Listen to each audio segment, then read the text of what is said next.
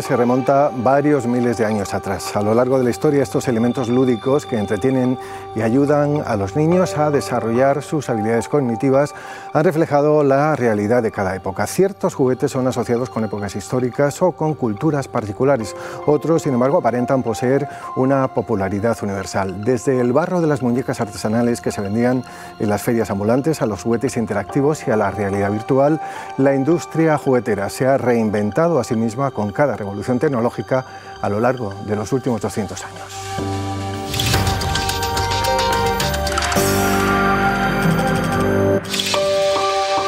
¿Qué tal están? Sean bienvenidos un día más a la memoria. En titulares vean ahora algunos contenidos que abordaremos en el programa de hoy. Los juguetes han acompañado a los más pequeños durante toda la historia de la humanidad. Se evidencia con pruebas irrefutables deducidas del estudio de las culturas antiguas. Es muy probable que los primeros juguetes tuvieran su origen en la región de Mesopotamia 5.000 años atrás. En España, si bien la revolución industrial no tuvo unos efectos inmediatos y apreciables en la fabricación de juguetes, a mitad del siglo XIX, junto a la elaboración artesanal de objetos de juego, comenzaron a consolidarse en diferentes zonas geográficas del país los primeros talleres familiares. Muñecas de madera, cartón y trapo, caballitos, tambores y trompetas, animales y recortables fueron los primeros juguetes fabricados en estos negocios familiares. Sucedió el pasado mes de julio en la playa de Puente Mayorga, en San Roque, en Cádiz. La Guardia Civil logró extraer del fondo marino dos ánforas de más de 2.000 años de antigüedad. Probablemente provengan del espolio de algún yacimiento cercano, pero desconocido. El castillo de Montilla en Córdoba atesora en su subsuelo un complejo industrial vinculado a la elaboración del vino que sería, según las primeras hipótesis de los arqueólogos, el gran lagar medieval que Fernando el Católico ordenó destruir junto al resto de la fortaleza a principios del siglo XV levantó su telón por primera vez el 30 de agosto del año 1923, fruto del empeño empresarial de un ciudadano onubense, Joaquín Gonzalo Garrido. Construido durante el reinado de Alfonso XIII, el Gran Teatro de Huelva cumple ahora 100 años. En Andalucía trabajan algunas de las grandes casas de restauración y conservación del carruaje clásico que hay en todo el mundo. Hoy nuestra tierra es referencia en el mercado internacional del coleccionismo y la restauración de carruajes antiguos. Saludamos al invitado al programa de hoy, Juan Hermídas, comisario y director de exposiciones y eventos relacionados con el juguete, apasionado coleccionista, también historiador del juguete, es director de la editorial Coleccionismo de Juguetes, especializada en libros y en revistas sobre figuras y juguetes fabricados en nuestro país, en España. Ha publicado una revista homónima bimestral y además es autor de varios libros sobre la historia del juguete. Es propietario de uno de los mejores archivos de documentación sobre juguetes de todo el mundo, sobre todo y en particular de juguetes de nuestro país. Juan, bienvenido a la memoria. Muchísimas gracias, buenas tardes. El juguete retrata con absoluta fidelidad no solo el grado de desarrollo de los pueblos, también sus gustos y aficiones, sus costumbres y, creencias. Sí, efectivamente. Eh, gracias al juguete podemos, eh, podemos establecer eh, cómo determinadas innovaciones tecnológicas van afectando a la sociedad y además gracias al juguete también podemos ver costumbres, podemos eh, ver el grado de, industrialización de esa sociedad y muchísimos otros detalles, por cual el juguete exactamente refleja la sociedad en cada momento. No es fácil determinar desde cuándo los humanos fabrican juguetes. Hay restos arqueológicos de juguetes de sociedades antiquísimas y antes de los juguetes se presume que los niños ya jugaban con palos y con piedras. Utilizando elementos de la naturaleza, arcilla, huesos, conchas, plumas y hojas, el ser humano creó figuras de animales, piedras redondas y pulidas, conchas marinas que enlazadas en cuerda produjeran sonidos, yoyos y peonzas, también muñecas de barro o miniaturas de objetos adultos. El león de Isturich, localizado en una cueva al sur de Francia, es considerado durante, fue considerado durante muchos años un colgante de uso ritual, pero una nueva interpretación sugiere ahora que su tamaño además de las evidentes marcas de desgaste provocadas por su uso, evidencian que era el juguete de un niño de la cultura paleolítica magdaleniense. Algo similar sucede con los cerritos de arcilla del yacimiento de Mascovice, en Polonia. Tienen 3.500 años de antigüedad y están considerados los juguetes más antiguos de todo el este europeo. El fin de estos objetos rudimentarios era, como lo es hoy, el aprendizaje y la comunicación. Al verlos ahora resulta inevitable pensar que por muy turbulenta, Juan, que haya sido la historia de la humanidad, los niños siempre han vivido en un mundo pequeño y también inocente. Claro, porque la actividad lúdica es innata al hombre. Entonces el, juguete es solamente un instrumento para poder jugar. Unas veces se puede jugar sin juguetes y otras veces podemos jugar con juguetes, pero es innato al hombre. Entonces por eso desde, desde el nacimiento del hombre se han ido desarrollando diferentes, eh, con diferentes materiales, diferentes objetos para establecer esa, esa actividad lúdica. Esa es la razón. Los juguetes han acompañado a los más pequeños durante toda la historia de, la humanidad, se evidencia con pruebas irrefutables deducidas del estudio sobre todo de las culturas antiguas. Es muy probable que los primeros juguetes tuvieran su origen en la región de Mesopotamia, 5.000 años atrás. Los niños de Babilonia ya utilizaban tabas para sus juegos, no eran más que huesos perforados de animales rumiantes que eran lanzados al aire. En la antigua Persia, hoy Irán, el actual Irán, los arqueólogos han encontrado najuares infantiles, sonajeros y miniaturas de animales. En Sogmartar, en Turquía, los arqueólogos encontraron una miniatura de carroza con cuatro ruedas en la tumba de un niño que vivió durante la Edad del Bronce. Y en Kutelpe, otra ciudad turca de Anatolia Central, uno de los juguetes más antiguos, un sonajero de 4.000 años de antigüedad. Muchas culturas conservan la esencia del trabajo manual en muñecos y, en juegos. En Mesopotamia, Babilonia, también en los territorios de, la antigua Persia, la arqueología ha datado los primeros juguetes de los que hoy tenemos constancia histórica. Exacto, sí. De hecho, eh, además de esos ejemplos, hay muchísimos otros. O sea, se sabe que, por ejemplo, eh, en, Oriente utilizaban las conchas a modo de sonajeros o utilizaban conchas a modo de molinillos. Eh, para los niños pequeños. Entonces, constantemente, como, decíamos hace un momento, esa actividad lúdica está, está relacionada con el hombre. Y entonces podemos encontrar en yacimientos arqueológicos de todo el mundo juguetes, unos más elaborados que otros, también dependiendo de la antigüedad, ¿no?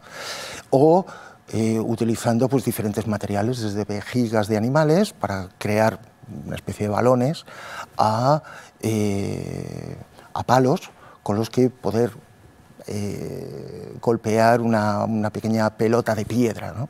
Entonces sí, efectivamente, es, eh, es innato al hombre.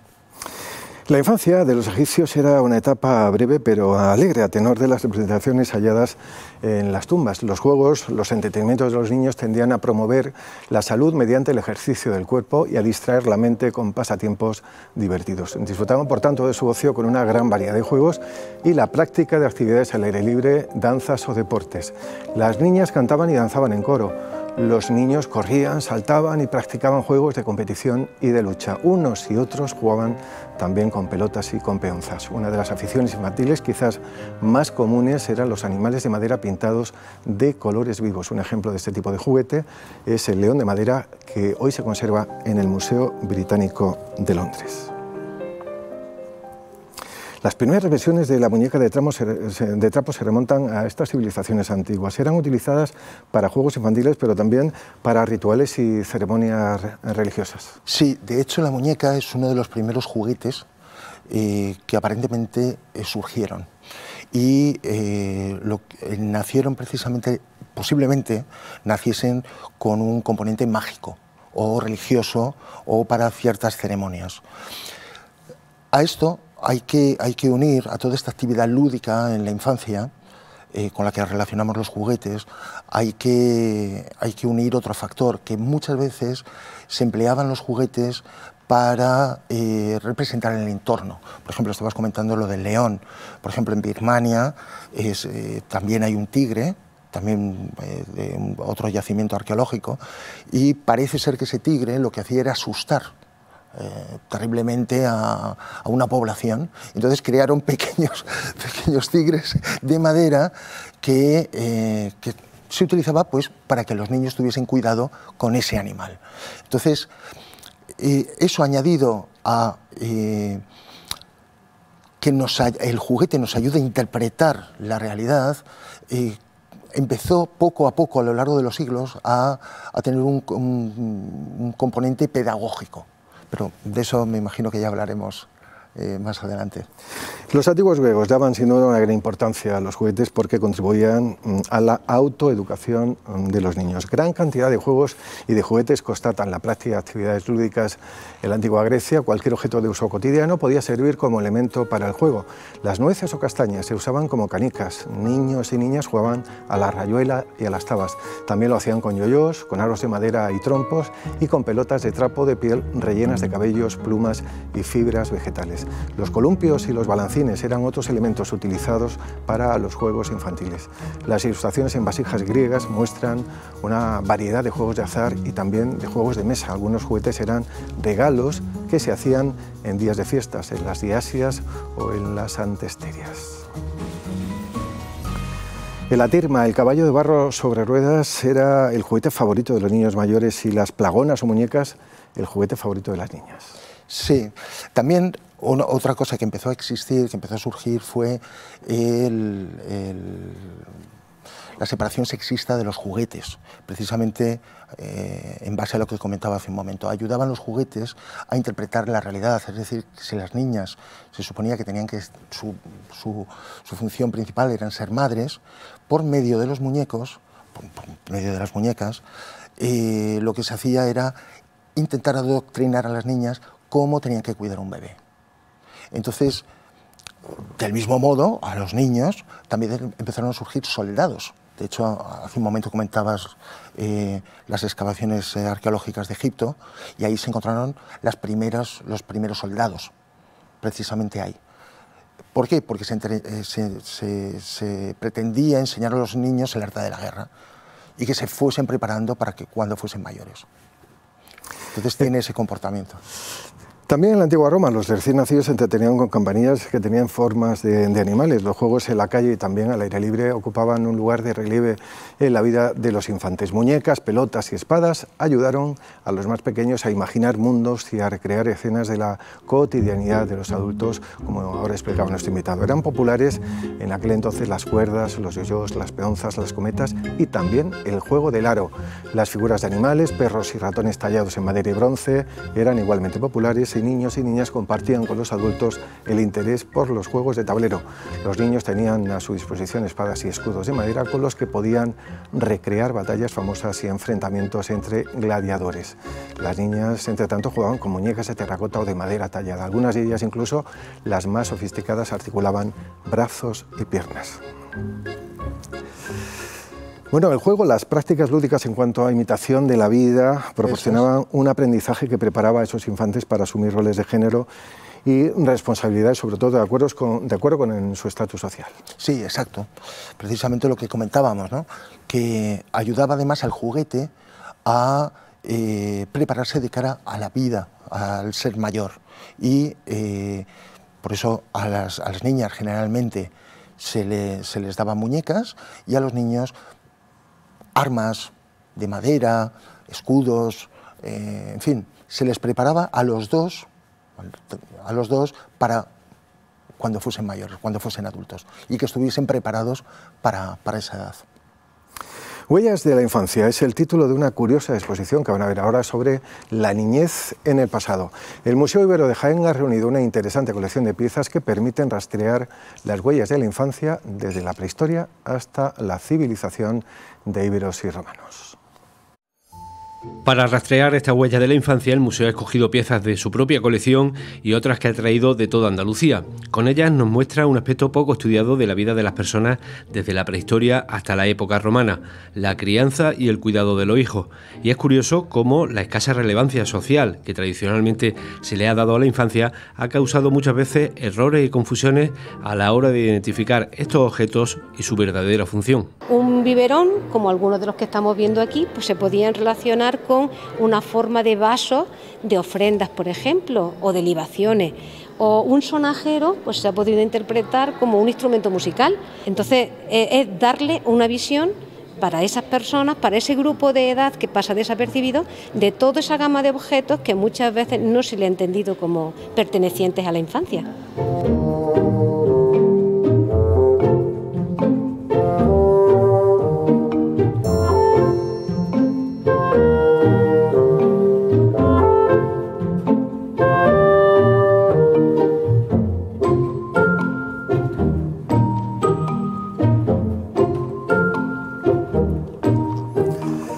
Esa exposición, Huellas eh, de la Infancia, nos permite ahora conocer con más detalle las sociedades y culturas que nos precedieron.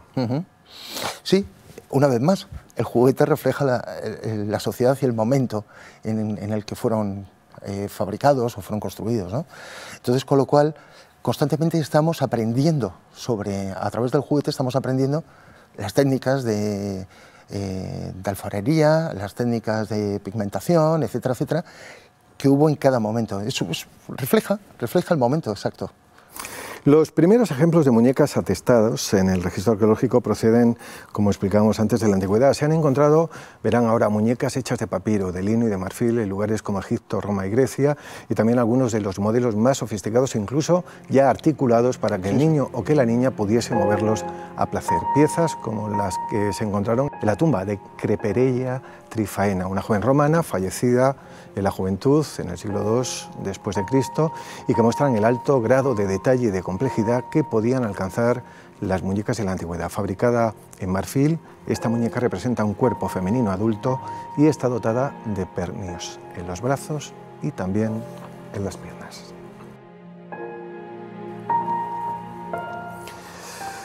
Habría que establecer un criterio desde los orígenes, Juan. Las muñecas no poseyeron un rol lúdico de manera exclusiva. Eran utilizadas para juegos infantiles, pero también para rituales, como hablábamos antes, y ceremonias religiosas. Incluso a muchas de ellas, muchas de estas representaciones antropomorfas, se le atribuyen funciones votivas, religiosas y también funerarias. Sí, exacto. De igual modo, eh, antes comentábamos el yo-yo.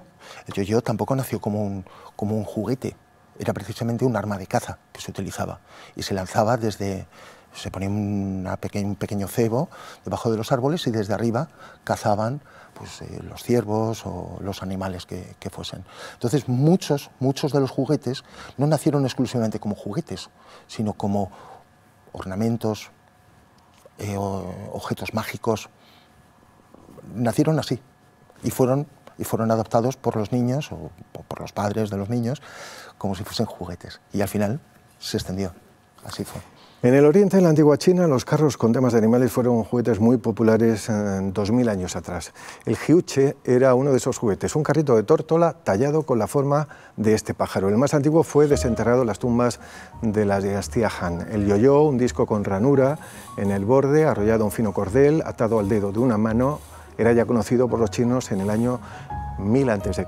Otro juego malabar de origen chino es el diablo, que llegó a Europa en el siglo XVII con los expedicionarios ingleses y franceses.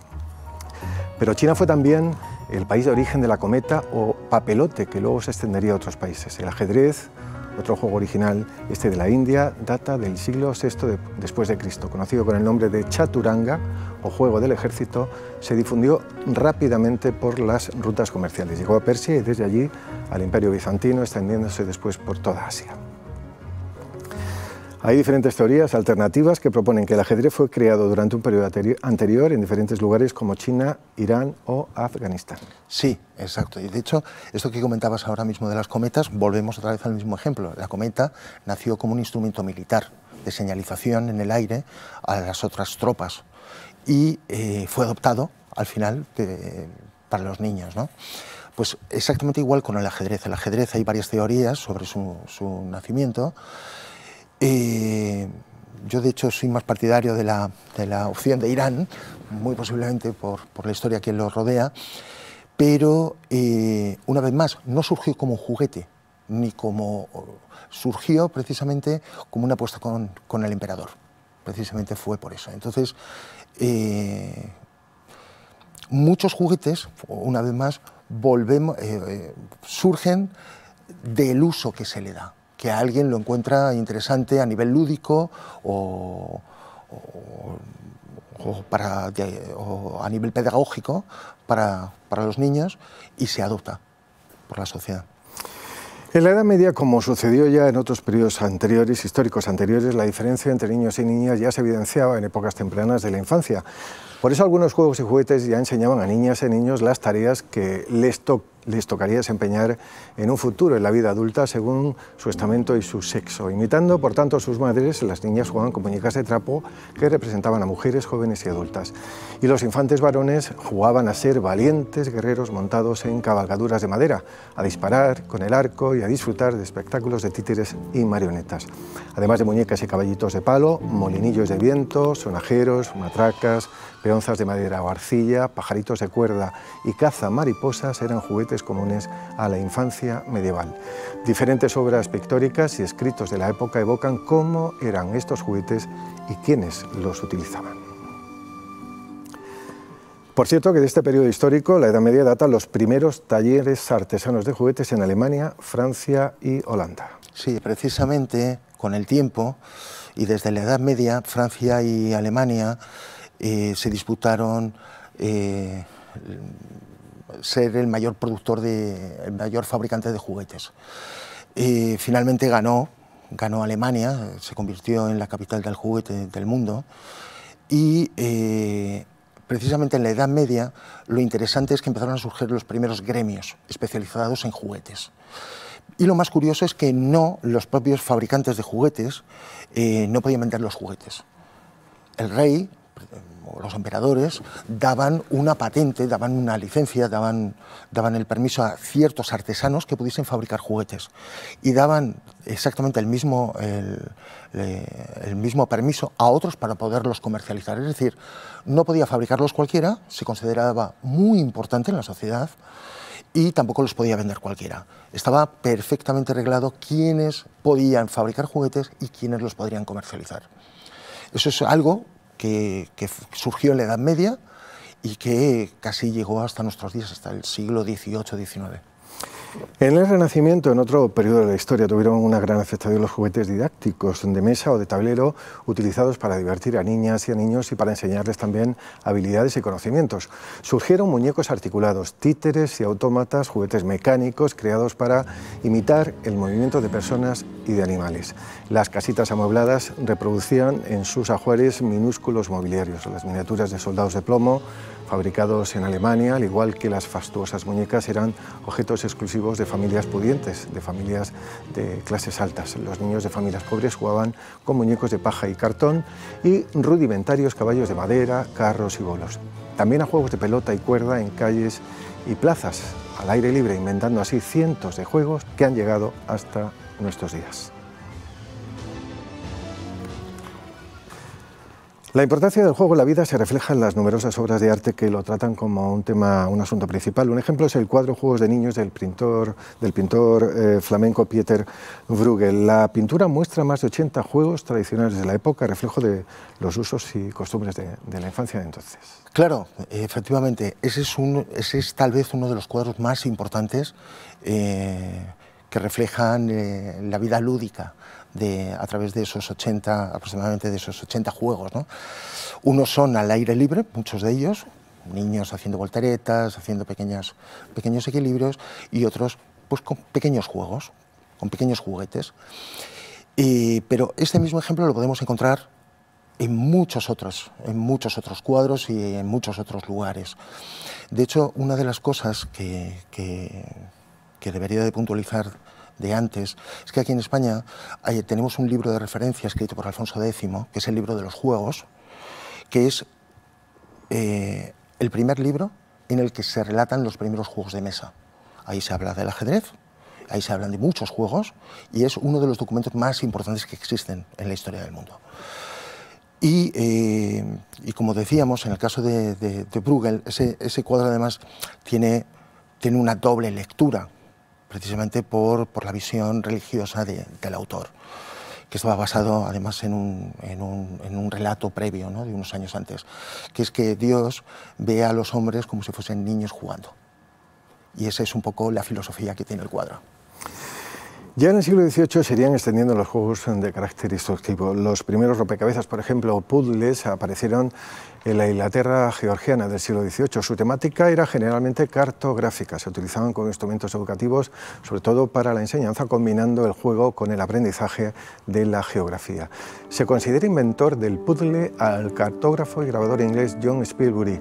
Su primer puzzle se publicó en 1766. Spilsbury recortó un mapa según las fronteras de los países y luego lo montó sobre un tablero de madera, el miriorama otro juego alcanzó popularidad en el siglo XIX, este juego de 16 cartas ilustradas, combinadas aleatoriamente y de maneras diferentes, permitían crear determinados paisajes únicos. En los años ya del siglo XIX, el rompecabezas Tangram, originario de China, se extendió a Europa y América. Otro juego de memoria, el rompecabezas del inglés Angelo Lewis, contenía descripciones de acertijos con mecanismos secretos de apertura. Podríamos decir que en aquellos años empezaba por primera vez a hablar de juguetes pedagógicos. Exacto, sí. Realmente el juguete pedagógico que, ha, tenido vigencia hasta antes de la televisión, eh, antes de la aparición de la televisión en los hogares, eh, era básicamente su función principal. Era un concepto instructivo y pedagógico. De hecho, muchos importantes pedagogos, como podría, ser Freudel, por ejemplo, eh, utilizaron el juguete precisamente como una herramienta pedagógica para enseñar, si bien por un lado cartografía, a, enseñar a los niños a leer, a escribir, a contar, a relacionarse con el mundo. Y eh, básicamente este ha sido el fundamento del juguete en los últimos siglos, precisamente. Las láminas recortables, eh, conocidas por muchos de, nosotros, por muchos de ustedes, fueron creadas la mayor parte de las veces como juguetes o objetos para entretener, lo que no les resta ningún valor como instrumentos pedagógicos. Pero en la actualidad, al margen de su evidente contenido estético, son ya documentos que pueden aportar gran cantidad de información para cualquier estudio de carácter antropológico o cultural. Los recordables han existido casi desde que se inventó el papel. Se tiene constancia de la aparición de formas primitivas de este tipo de juego en las culturas orientales, alrededor del año 800. Si hablamos de Occidente, los libros ilustrados y desplegables se hicieron populares en muchos países, pero quizá fue en la Francia del siglo XVIII cuando alcanzaron gran popularidad entre las clases altas. Y es en la segunda mitad del siglo XVIII cuando el teatro de sombras llega a Europa como espectáculo para adultos y acaba convirtiéndose en un juguete infantil. Se hicieron tan populares que las estamperías comenzaron a producir y a vender hojas en las que se podían recortar decoraciones, figuras y también accesorios. Exacto. Aquí en España precisamente se introdujo por, por varias firmas eh, de Barcelona, como la estampería Palucier o, o Chorens o Bosch y eh, fue a través de ellos que llegaron esos primeros teatros a, España. se convirtió en un, en, un, juguete muy popular y precisamente una vez más, como tú muy bien has dicho, eh, desde el punto de vista antropológico podemos estudiar la sociedad de ese, de ese momento gracias a, a, esas, a, esos recortables, a esas láminas eh, para recortar de, de esa sociedad. Con la revolución industrial, el continente europeo vivió el mayor conjunto de transformaciones económicas, tecnológicas y sociales quizás de toda la historia de la humanidad, desde el neolítico, algo que afectó naturalmente al proceso de fabricación de los juguetes. Hasta entonces el juguete tradicional era un producto artesanal y sencillo. En los años de la revolución industrial, los materiales tradicionales, la madera, la arcilla, la tela o el cartón, fueron progresivamente desplazados por los metales y el caucho los juguetes aumentaron su complejidad, favorecidos por la industria mecanizada de fabricación en serie, y crecieron en número y variedad. La juguetería trataba de reproducir el maquinismo de la era industrial. Fue la época de los juguetes de resorte y los juguetes de metal, movidos por mecanismos de relojería, de los motores eléctricos y también de los primeros trenes de, de vapor. Claro, una vez más, es que estamos en, la sociedad, estamos reflejando la sociedad. Entonces, con el inicio de la revolución industrial, empieza a aplicarse todas esas técnicas de fabricación a los juguetes.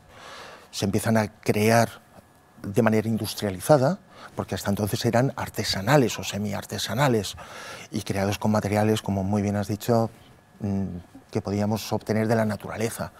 Pero la revolución industrial lo que trajo fue eso, una industrialización también del juguete, como, otros, como tantas otras actividades y sectores. ¿no? Sí, realmente fue así. En esta estela de la revolución industrial, a mitad del siglo XIX, surgieron ya los juguetes de hojalata, fabricados con láminas de acero, bañadas en estaño, ligeras y fáciles de moldear, sustituyeron a los juguetes de madera. Originalmente los juguetes de hojalata eran ensamblados y pintados a mano. Los avances tecnológicos en el ámbito de la química y la siderurgia permitieron, a final de la década de 1880, utilizar la litografía offset para imprimir los diseños. Con la introducción del estampado como método decorativo y el sistema de ensamblaje como método de fabricación, se inició la producción a gran escala.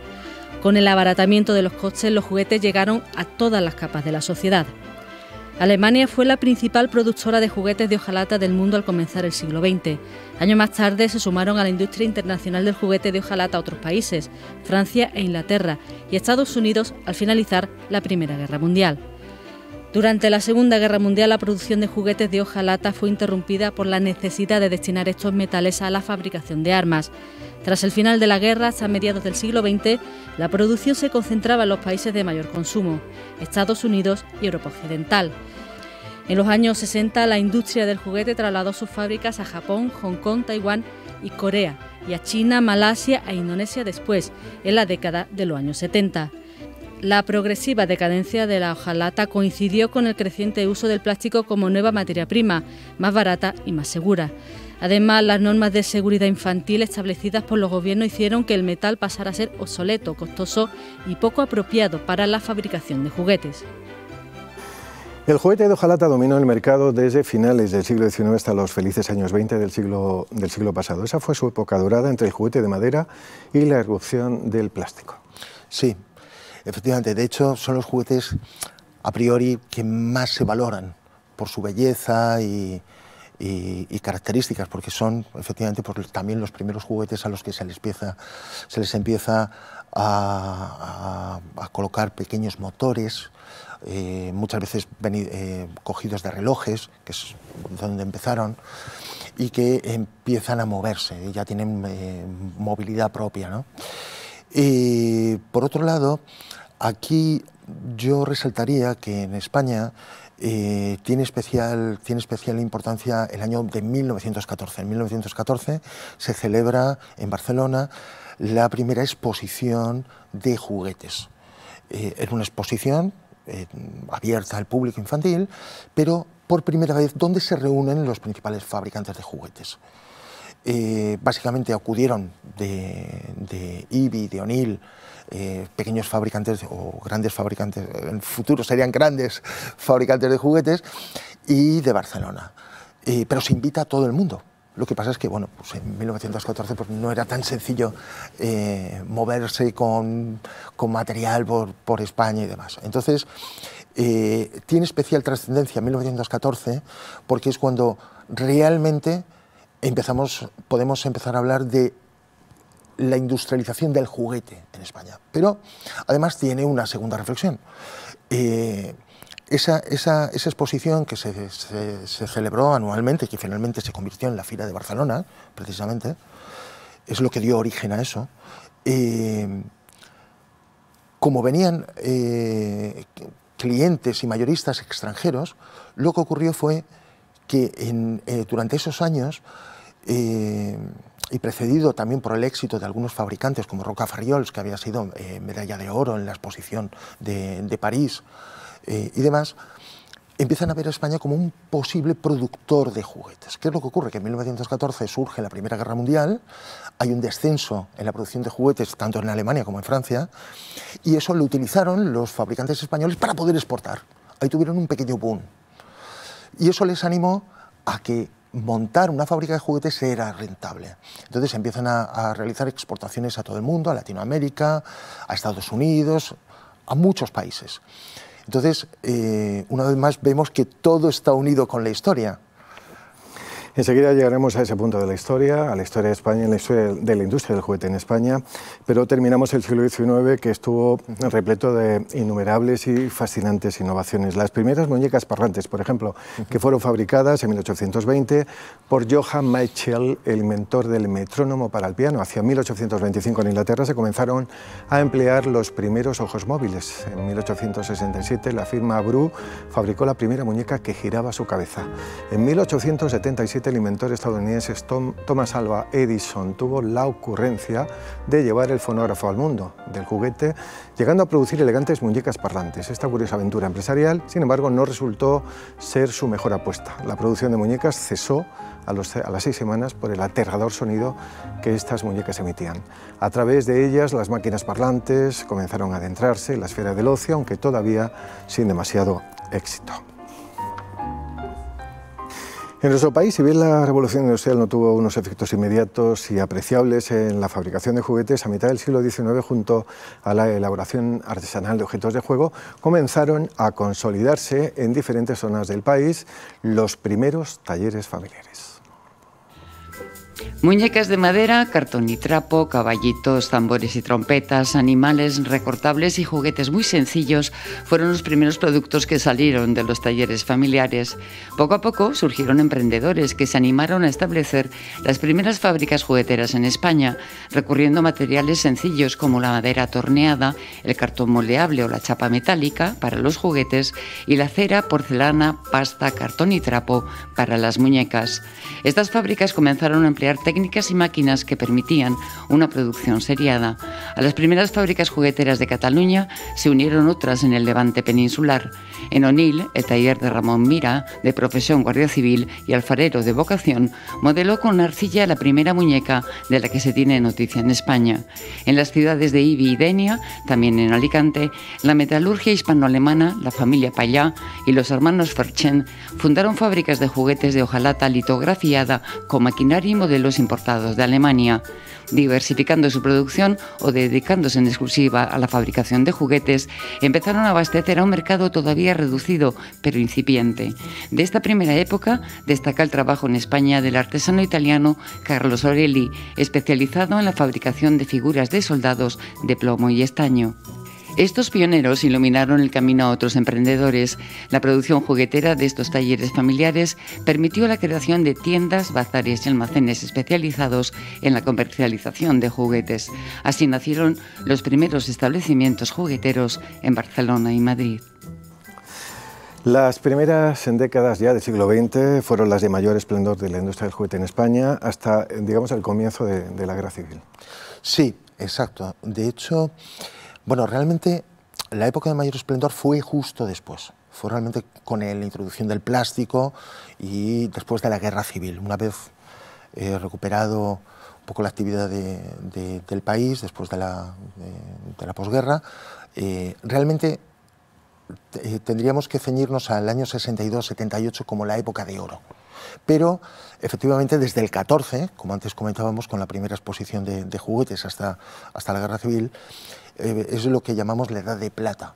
Es donde se fabricaron todos esos juguetes de hojalata y de madera, eh, todas esas muñecas, todas esas, eh, esas se empieza a industrializar el juguete, que es una época muy dorada por completo. ¿no? Entonces, sí, que es, sí que es interesante aquí resaltar que los juguetes se vendían de dos maneras. Una era en ferias ambulantes, que eran básicamente juguetes de, baja calidad, y por otro lado en bazares. Los bazares, que lo mismo vendían cristal, eh, comestibles, pero también vendían juguetes.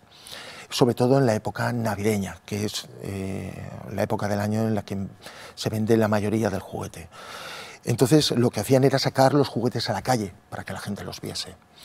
y te digo que es importante un poco para establecer cómo se comercializaban los juguetes hemos visto o hemos hablado por encima cómo, cómo se, empezaron a fabricar a través de esas pequeñas eh, empresas familiares, pero realmente quién los comercializaban en los bazares por un lado y si eran de menor calidad en las ferias ambulantes. En los años 60 y 70 del siglo pasado, la industria juguetera española comenzó a sufrir por entonces la competencia de las grandes compañías extranjeras. La llegada de los Hyperman alemanes, los Clicks de Playmobil o el Cinexin coincidió con el célebre Ibertren o con la explosión del juguete didáctico. Entre tanto, las Barbies ya habían desplazado a las muñecas autóctonas y copado el mercado como juguete para niñas por excelencia, con el plástico ya como material dominante. Estos juguetes darían testimonio a uno de los hechos más relevantes de aquellos años, la implantación en España de las grandes multinacionales jugueteras. La definitiva separación de las fronteras interiores europeas en el año 1993 marcó la definitiva e imparable internacionalización y globalización del mercado del juguete. Los años de la transición democrática, Juan, en nuestro país representaron una época difícil en lo económico y contribuyeron al cese de la actividad empresarial en algunas de estas fábricas jugueteras. Otras se vieron en la necesidad de reconvertirse para no desaparecer. Sí, precisamente en los años 60 se producen varios efectos. Por un lado, de nuevo, eh, en el año 62 empiezan a,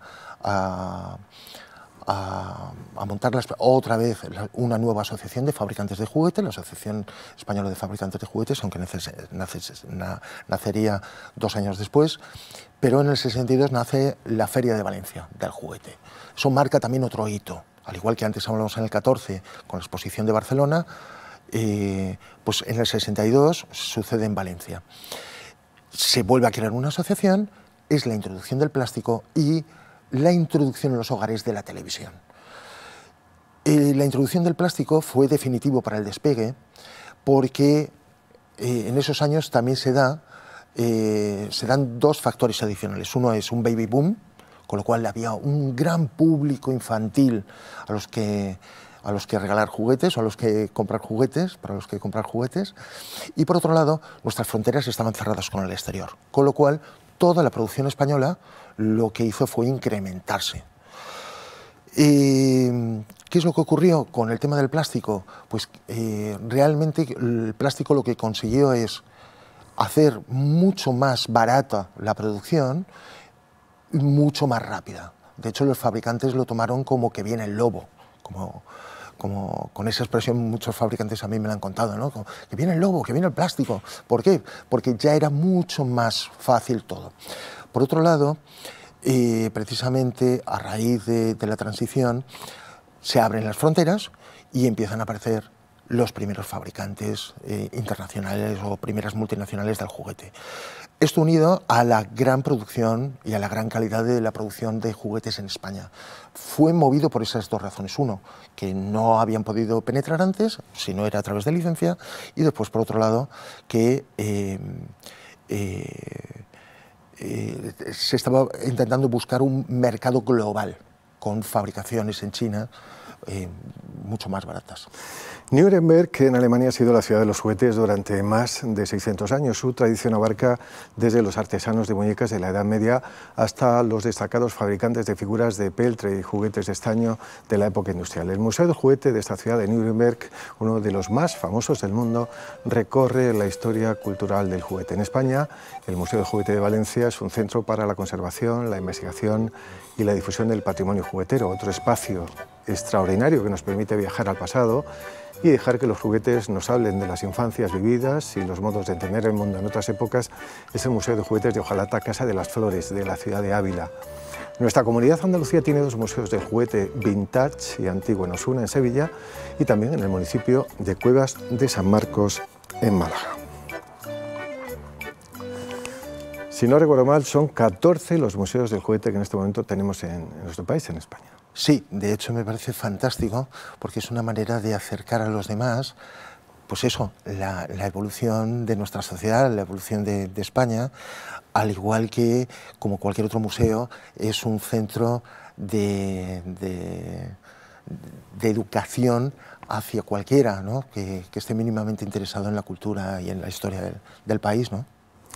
El año 1959 ha sonado mucho últimamente las conversaciones diarias después del estreno cinematográfico de Barbie, porque aquel año de 1959 la empresa Mattel sacó esta muñeca al mercado. Desde entonces Barbie ha ido cambiando su cara, su peinado y también su maquillaje. Incluso ha sido embajadora de UNICEF. Todo lo que gire alrededor de ella puede generar tendencias, opiniones y noticias. Esta que ven es una de las mayores colecciones privadas de muñecas Barbies en el mundo. Reúne más de mil muñecas de todas las épocas y de todos los países, incluidas las que se fabricaron en España. Su propietario reside en la isla de La Palma, en Canarias. Barbie es todo un fenómeno social que va más allá de la nostalgia por un juguete infantil.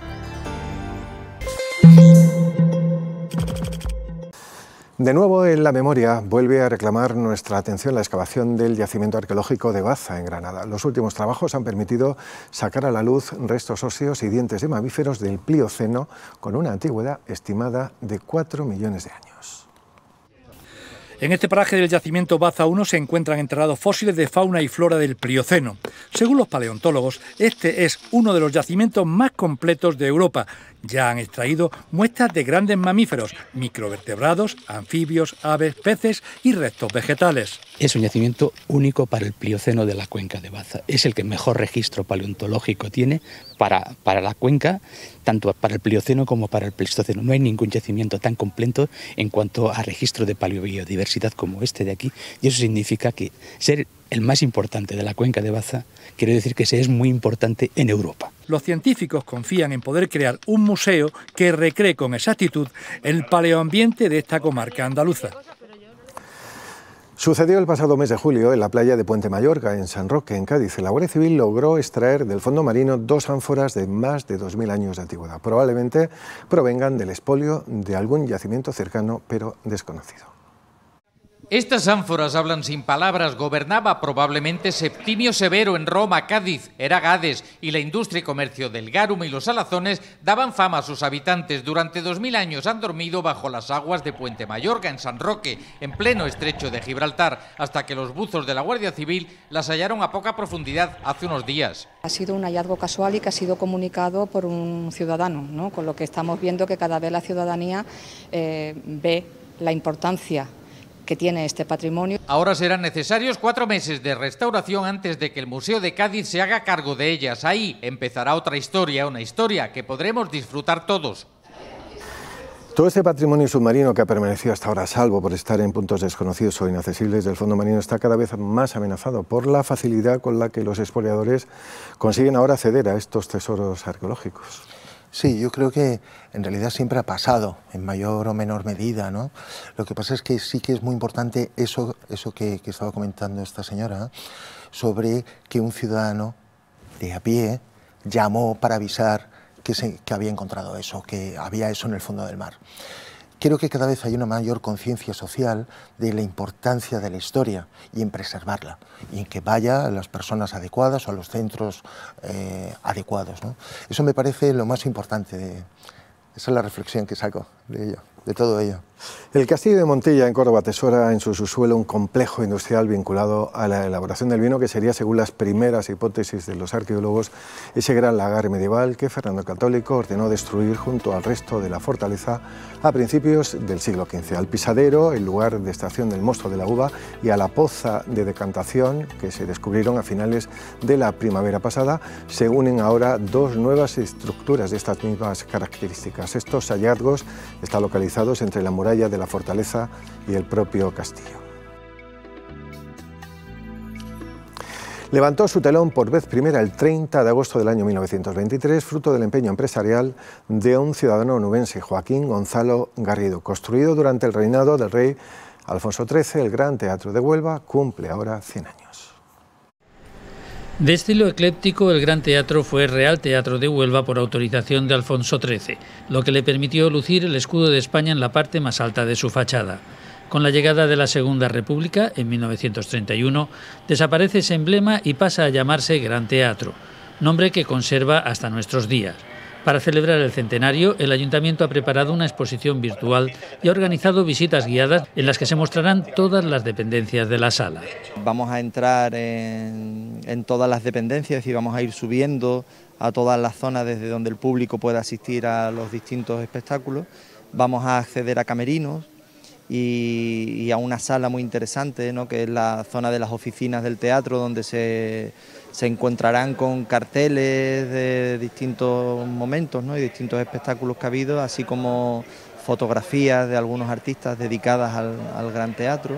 En los años 80 del siglo XX, el Ayuntamiento y la Diputación de Huelva compran el Gran Teatro y lo restauran. Su reinauguración tuvo lugar en julio de 1990. Si la Cristalina de los hermanos Álvarez Quintero fue la primera pieza teatral que se representó en la sala, The Bellhop de Larry Simon y Norman Taurog fue la primera película que se proyectó en su pantalla. Haciendo honor al título concedido por Alfonso XIII el 30 de agosto de 1923, se inaugura este teatro que nació de las aspiraciones y, de los anhelos de la burguesía onomense. Sí, como en otros tantos puntos de España, gracias a alguien con pudiente, alguien con, con, dinero, pues eh, montaban teatros precisamente para compartir con, con, el resto del pueblo, con el resto de la población, pues pequeños eventos culturales, de, teatro, de danza, de, bailes y demás. Me parece que con gente como, como, esta, pues le tenemos que estar muy agradecidos, porque gracias a muchos de ellos, pues han llegado muchas costumbres y muchos bailes que, que hubiesen quedado perdidos en el tiempo. El Cabildo de la Catedral de la Ciudad de Almería ha informado ahora de la apertura al público de la Torre Campanario, una torre recién restaurada a su estado original. Esta zona del templo inicia ahora el programa de visitas guiadas para fines de semana. Son los primeros visitantes que entran en la torre campanario de la Catedral Fortaleza de Almería. En décadas anteriores estaba destinada a la residencia del campanero.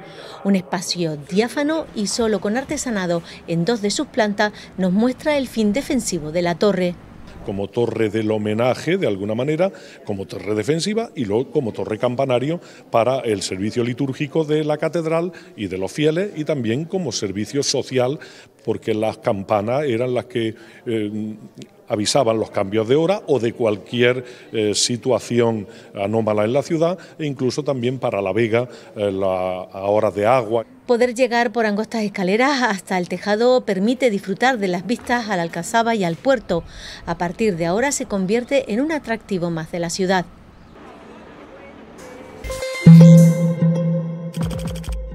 Andalucía tiene una de las mayores colecciones de carruajes de España y de Europa. Su cuidado y restauración es una tarea imprescindible para su conservación. No es un museo aunque lo parezca, es un taller de restauración de carruajes clásicos. Hay unos 30, algunos ya están terminados. Chano Romero comenzó hace 25 años por afición y ahora es ya un referente en el sector de la restauración artesanal. Aquí llegan coches de todo el mundo, especialmente de Francia. A cada coche se le hace un estudio exhaustivo para dejarlo tal y como era. Que tardamos cuatro o cinco meses porque, oye, interviene el herrero, el carpintero, lo paramos, luego la pintura, mientras que la pintura lo se va tapizando, entonces requiere ese tipo de tiempo por eso, porque ¿verdad? que intervenimos muchísima gente. El proceso comienza aquí, donde se desmonta cada parte del carruaje, se elija y trata la madera y se recuperan todos los accesorios. Los últimos toques son de pintura. Un trabajo manual y minucioso para conseguir una reparación que llega a ser costosa. De veintitantos mil euros a cien mil. Depende del carruaje, modelo de carruaje y, y las condiciones que esté el coche. Todos estos están ya preparados para salir a la calle. El Gobierno ha reconocido los veriales de Málaga como patrimonio inmaterial en la cultura de nuestro país, de España. La Administración Central incluye esta manifestación ahora, esta manifestación musical, entre los toques tradicionales de guitarra en el marco de las fiestas participativas. La declaración de patrimonio inmaterial supone un espaldarazo y un empuje de energía para dar más visibilidad a los verdiales y consolidarlos como una de las tradiciones en España una fiesta totalmente viva que goza de buena salud. La gente joven, nada más que ver las pandas actualmente, cualquier actuación, que verás que hay niños de 3 años, de 7, de 10 a los mayores, jóvenes, gente mayor con dilatada experiencia de años. ¿no? Cultura propone la creación de espacios virtuales y también físicos donde se revalorice la importancia de los verdiales en todas sus dimensiones. La manifestación musical de Verdiales recibe con esta distinción, esta distinción que la consolida como una de las tradiciones más genuinas de todo nuestro país en su género.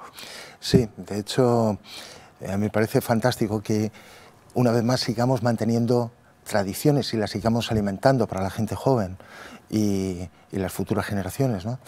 Y por otro lado, en este caso, pues, es tan particular el uso del violín y tan eh, precisamente eh, esta manifestación que está tan vinculada con el campo.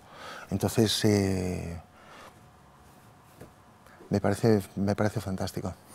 La música tradicional forma sin duda parte de nuestro patrimonio cultural y material que se ha ido transmitiendo, como sucede con los bediales, de generación en generación por diferentes comunidades y grupos en función de su entorno, su interacción con la naturaleza y también su historia. Infunden un sentimiento de identidad y continuidad y contribuyen al respeto por la diversidad cultural. Recientemente el Consejo de Gobierno de la Junta de Andalucía ha acordado inscribir en el Catálogo General del Patrimonio Histórico como bien de interés cultural, con la tipología de actividad de interés etnológico, la danza de los locos y el baile del oso de Fuente Carreteros, la danza de San Isidro Labrador de Fuente Tojar y la danza de las espadas de ovejo en Córdoba. Todos estos bailes constituyen una magnífica muestra de ese amplio patrimonio cultural de Andalucía y ejemplifican la diversidad de manifestaciones socioculturales urbanas que son el resultado de complejos procesos históricos que han contribuido a configurar nuestra identidad cultural. Todos estos bailes y danzas con muchos siglos de historia han perdurado a través de los tiempos de generación en generación, a través de la transmisión oral, músicas, canciones y bailes típicos que acompañan a las tareas del campo también y a fiestas populares y a celebraciones. Claro, de hecho, la diversidad cultural es lo que nos enriquece y a su vez es lo que nos une. Tiene esas dos, tiene esas dos características. ¿no? Entonces, cuanto más se fomente el recuperar esas tradiciones, esos en este caso estas danzas, estos bailes, estas, estas músicas, eh, pues creo que nos lo agradecerán las próximas generaciones. Juan Hermida, gracias por su tiempo y por estos minutos de charla de la memoria y mucha suerte en sus proyectos futuros. Muchas gracias a, a ti y a vosotros. Era todo un paradigma pop de sensualidad y de ternura. Jane Birkin, célebre cantante y actriz anglo-francesa, falleció el pasado mes de julio en su domicilio de París, de esta ciudad, a los 76 años de edad. Su trayectoria, no ajena a la polémica, la condujo a encumbrarse como uno de los grandes mitos del cine y de la música de la Europa de la década de los 70. Nunca fue una musa profesional ni quiso serlo en ningún momento. Es más, su interés por las tendencias era absolutamente nulo. Pero aún así, sin quererlo y a su pesar, se convirtió en un icono de estilo. Nacida en Londres en 1946, inventó un estilo parisino cuyo éxito nunca ha decaído. 44 años atrás, junto a su marido Sergei Gainsbourg, rompió moldes con esta canción, J'étais mon una canción convertida en todo un himno erótico. En aquel momento la cantante no era consciente de que esos acordes cambiarían el mundo de la música y también la cultura francesa. Con ella, con Jane Birkin termina la memoria, hoy recordando una cita del escritor estadounidense Charles Bukowski. Solo, decía, los locos y los solitarios pueden permitirse el lujo de ser ellos, porque los solitarios no necesitan complacer a nadie y a los locos no les importa ser comprendidos. Lean, reflexionen y debatan sus ideas. Feliz semana a todos. Adiós.